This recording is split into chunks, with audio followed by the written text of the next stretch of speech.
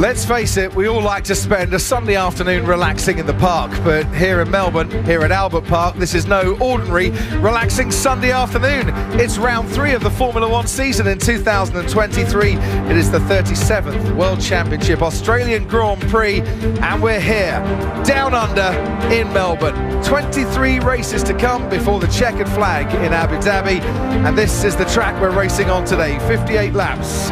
3.28 miles per lap, 14 corners, 5 to the left and 9 to the right. And this year, 4 DRS zones worth an extra second in lap time per lap. There's the 14 corners. We wind our way around the Albert Park Lake and we head towards turn 1, just 261 metres to go to that corner from pole. Hamilton and Alonso in 2007 when Lewis Hamilton announced his arrival on the Formula One world stage and went round the outside of his teammate. This is Robert Kubica and Sebastian Vettel in 2009 at late collision there, and Sebastian and Robert tangling in their BMW Sauber and Red Bull. And let's move on to turn nine. What a corner this is in the modern era of Formula One. Sergio Perez on Lewis Hamilton in last year's race.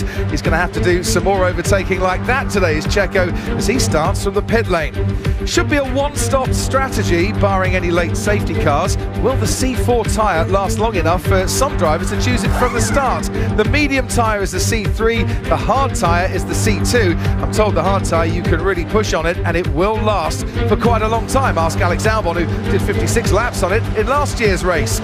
Well this is how the grid then lines up for our race this year. And Sergio Perez and Valtteri Bottas starting from the pit lane. Suspension change for Valtteri Bottas and new engine components for Sergio. Zhou Guanyu starts 17th, Logan Sargeant starts 18th. His teammate started there last year and finished in the top 10. The homeboy Oscar Piastri 16th, Nick De Vries first time in Q2 for this season, starts 15th. Kevin Magnussen, 14th for Haas, alongside Lando Norris, who was fourth on the grid this time last year. Yuki Tsunoda starts 12th. Esteban Ocon missed Q3 by 7 one thousandths of a second. Nico Hulkenberg starts 10th for the third race in a row this year. Pierre Gasly in Q3 for the first time is 9th. Alex Albon, super performance from him to start 8th. Charles Leclerc, Q3 laps compromised, couldn't do the preparation laps, is 7th. Lance Stroll 6th and Carlos Out qualifies Leclerc for the first time this season. Fernando Alonso and Lewis Hamilton starting together on the second row. And ahead of them, George Russell and Max Verstappen on pole for the 22nd time in his Formula One career. 16 wins from 21 previous poles. But as we look down Jenson Button to the grid, let's talk about that.